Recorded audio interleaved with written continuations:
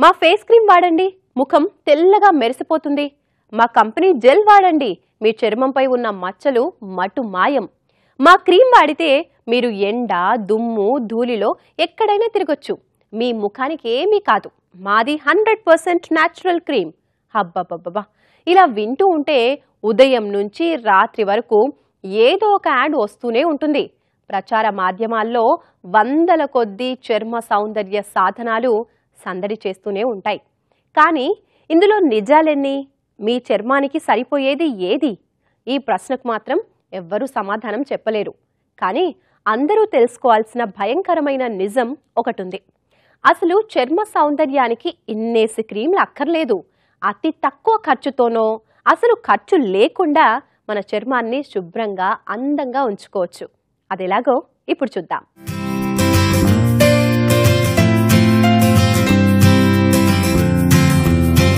చర్మం అనేది శరీరంలో అన్నిటికంటే పెద్దగా విస్తరించి ఉన్న అవయవం.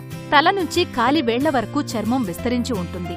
బయట నుంచి ఉష్ణోగ్రతలతో పాటు శరీరంలోని అంతర్గత అవయవాలను చర్మం కాపాడుతుంది. కాబట్టి చర్మానికుండే ఇబ్బందులు ఎక్కువే. అలాగే చర్మం ఒక్కొక్కరిలో ఒక్కోలా రూపొంది ఉంటుంది. ఎవరి చర్మతత్వాన్ని బట్టి వారు జాగ్రత్తలు తీసుకోవాలి. మనకు కనిపించే బాహ్య చర్మంతో పాటు అంతర చర్మం అంతర్గతంగా కణాలతో ఉండే మరో పొర ఉంటుంది.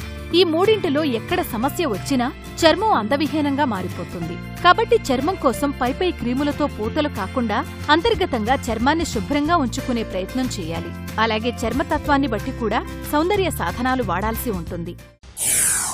స్కిన్ అనేది it is the largest organ of the body అంటే అది కూడా ఒక అవ- అవయవమే.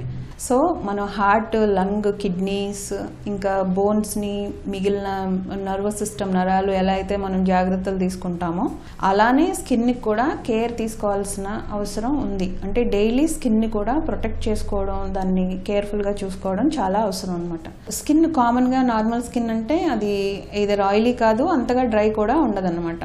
బేసిక్ స్కిన్ కేర్ ఏంటంటే ఫస్ట్ మన స్కిన్ మనకు తెలిసిపోతుంది ఎక్కువ ఆయిలీగా ఉందా లేకపోతే ఎక్కువ డ్రైగా ఉందా అనేది చూస్తే అర్థమైపోతుంది నార్మల్ స్కిన్ అని. ఇప్పుడు డ్రై స్కిన్ ఉన్న వాళ్ళు ఏంటంటే రెగ్యులర్గా వాష్ చేసేటప్పుడు వాళ్ళు ఆల్కహాల్ కంటైనింగ్ సోప్స్ వాడకుండా ఉండడం మంచిదనమాట సో డ్రై స్కిన్ ఉన్న వాళ్ళు క్లెన్జర్స్ వాడుకోవడం అవసరం.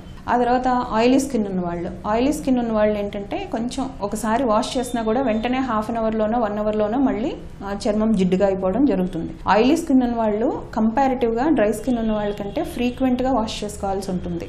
అంటే రెగ్యులర్ వాళ్ళు డ్రై స్కిన్ ఉన్న వాళ్ళు ఒకటి రెండు సార్లు వాష్ చేస్తే వీళ్ళు టూ త్రీ టైమ్స్ వాష్ చేయాల్సి ఉంటుందన్నమాట. ఆయిలీ స్కిన్ ఉన్న వాళ్ళు జెల్ బేస్డ్ ప్రిపరేషన్స్ వాడుకోవడం వల్ల వాళ్ళకి బాగుంటుంది స్కిన్ మాయిశ్చరైజర్స్ ఏంటంటే స్నానం చేసిన వెంటనే ఎస్పెషల్లీ డ్రై స్కిన్ ఉన్న పేషెంట్స్ స్నానం చేసినాక ఫైవ్ మినిట్స్ లోపల టవల్తోని అద్ది వెంటనే మాయిశ్చరైజింగ్ లోషన్ రాసుకోవడం వల్ల లేకపోతే క్రీమ్ రాసుకోవడం వల్ల ఆ వాటర్ కంటెంట్ ఏదైతే ఉందో అది రీటైన్ అయ్యి స్కిన్ సాఫ్ట్గా సపుల్గా అవుతుందన్నమాట.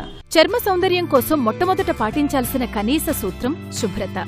చర్మంపై మలినాలు పోకుండా కేవలం ఫేస్ క్రీముల వలనో మేకప్ వేసుకున్నంత మాత్రాన ఎవరూ అందంగా కనిపించరు. కాబట్టి చర్మం మొదట శుభ్రంగా ఉంచుకోవాలి.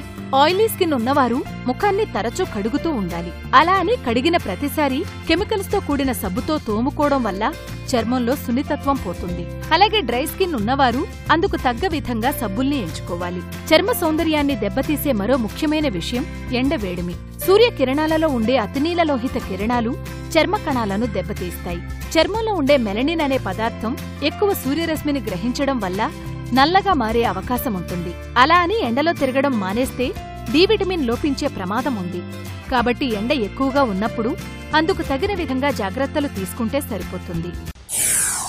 అల్ట్రావైలెట్ లైట్ అంటే సన్లైట్ ఉన్నా లేకపోయినా కూడా అల్ట్రావైలెట్ లైట్కి ఎక్స్పోజ్ అవుతారు కాబట్టి కంపల్సరీ సన్ స్క్రీన్ వాడుకోవాలి. ఇండోర్స్ అంటే ఎక్కువ బయట తిరగని వాళ్ళైతే SPF thirty sun protective factor thirty కానీ అంతకన్నా కొంచెం ఎక్కువ ఉన్న సన్ స్క్రీన్ వాడుకుంటే సరిపోతుంది. అవుట్డోర్ యాక్టివిటీస్ చేసే వాళ్ళైతే అబౌవ్ థర్టీ ఎస్పీఎఫ్ ఉన్నది. థర్టీ కన్నా ఎక్కువ సన్ ప్రొటెక్టివ్ ఫ్యాక్టర్ ఉన్నది చూసుకుని కొనుక్కోవాలన్నమాట. మళ్ళీ సన్ స్క్రీన్లో కూడా జెల్ బేస్డ్ ప్రిపరేషన్స్ ఏమో. కొంతమందికి ఆల్రెడీ జిడ్డుగా ఉన్న దానిపైన సన్ స్క్రీన్ పెట్టుకుంటే ఇంకొంచెం జిడ్డుగా అనిపిస్తుంది. సో అలాంటి వాళ్ళు జెల్ బేస్డ్ సన్ స్క్రీన్స్ వాడుకోవచ్చు. డ్రై స్కిన్ ఉన్న వాళ్ళు లోషన్ బేస్డ్ సన్ స్క్రీన్స్ వాడుకుంటే సరిపోతుంది అనమాట ఆ తర్వాత సన్ స్క్రీన్ తర్వాత ఇంకా ఫుడ్ దగ్గరకు వచ్చేసరికి వాటర్ ఎక్కువ తాగాల్సి ఉంటుంది అనమాట చాలా మంది దాహం వేస్తేనే వాటర్ తాగాలి అనుకుంటారు. అది కరెక్ట్ కాదు. Eight to ten glasses of water compulsory తీసుకుంటే మనకి దాహం వేస్తే బాడీలో నీరు తక్కువ ఉంది అని దాహం వేస్తుంది మైండ్ చెప్తుంది. సో అప్పుడు స్కిన్ ఏంటంటే స్కిన్ కూడా డ్రై అయిపోవడం జరుగుతుంది అనమాట సో స్కిన్ కూడా తగినంత వాటర్ కంటెంట్ అవసరం. తర్వాత విటమిన్ ఏసీఈ ఉండేవి. అంటే యాంటీ ఆక్సిడెంట్ uh, ఉండే ఫుడ్స్ అంటాం అనమాట papaya carrot beetroot citrus pomegranate అంటే దానిమ్మ ఇలాంటివి తీసుకోవడం వల్ల స్కిన్కి హెల్ప్ అవుతుంది. ఆ తర్వాత ఆల్మండ్స్. ఆల్మండ్స్ అంటే బాదం పప్పులు ఇలాంటివి తినడం వల్ల మొలకలు తిన తినడం వల్ల కూడా స్కిన్కి హెల్ప్ అవుతుంది అనమాట స్కిన్ ప్రాబ్లం కూడా ఎంత చిన్నది వచ్చినా కూడా ఎర్లీగా కన్సల్ట్ చేసి అది ఏంటి అని తెలుసుకుని దాన్ని ప్రాపర్ ట్రీట్మెంట్ ఇవ్వడం వల్ల చాలా వరకు స్కిన్ బాగుంటుంది. అండ్ ఇంతకుముందు చెప్పిన డైట్ అంతా తీసుకుని రెగ్యులర్గా మాయిశ్చరైజర్స్ సన్ స్క్రీన్స్ వాడుకోవడం జనరల్ కేర్ ప్రాపర్గా తీసుకోవడం వల్ల కూడా స్కిన్ ఏమీ ప్రాబ్లమ్స్ రాకుండా చూసుకోవచ్చు అనమాట చర్మాన్ని సంరక్షించుకోవడానికి బాహ్యంగా ఎంతగా జాగ్రత్తలు తీసుకుంటామో శరీరంలో అంతర్గతంగానూ అంతే సహకారం అందాల్సి ఉంటుంది. రక్తంలో మలినాలు చేరడం వలన వాటి ప్రభావం మొదట కనిపించేది చర్మంపైనే ఇతర ఆరోగ్య సమస్యల కారణంగా చర్మంపై మచ్చలు ఏర్పడుతుంటాయి. కాబట్టి పీచు పదార్థాలు ఎక్కువగా ఉండే ఆహారం తీసుకోవడం రోజూ వ్యాయామం చేయడం వలన శరీరంలో ఉండే మలినాలన్నీ పోయి చర్మం నిగనిగలాడుతూ ఉంటుంది. అలాగే జిడ్డు చర్మం ఉన్నవారు తినే ఆహారంపై ప్రత్యేక శ్రద్ధ వహించాలి. ఎక్కువ ఆయిల్తో కూడిన ఆహారం తీసుకుంటే చర్మం మరింత జిడ్డుగా మారుతుంది.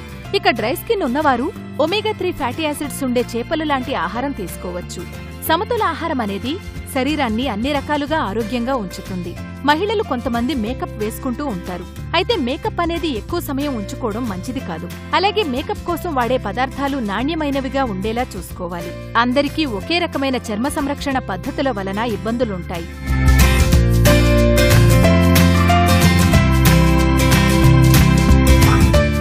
చర్మ సౌందర్యమో రంగును బట్టో మార్కెట్లో క్రీమ్ల అమ్మకాలు ఉండవు. కేవలం మీలో ఆత్మన్యూనత భావం ఆధారంగానే ఎక్కువ ఫేస్ క్రీమ్ అమ్మకాలు జరుగుతాయి. కాబట్టి పుట్టుకతో వచ్చిన చర్మం రంగు రూపుపై కాకుండా శుభ్రతపై దృష్టి పెట్టండి. అది మీలో ఆత్మ సౌందర్యాన్ని బాహ్య చర్మాన్ని కూడా తేజోవంతం చేస్తుంది.